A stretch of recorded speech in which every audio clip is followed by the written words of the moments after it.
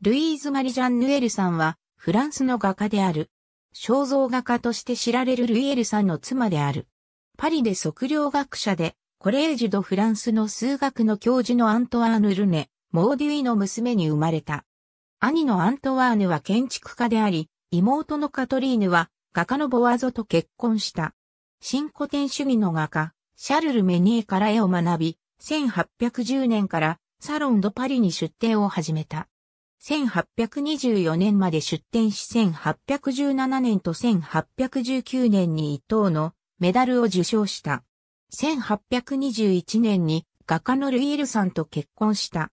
パリ、カセット通りの自宅で女性のための絵画教室を開き、教えた学生には陶磁器の絵師として知られるボケやフィリポーラがいる。ありがとうございます。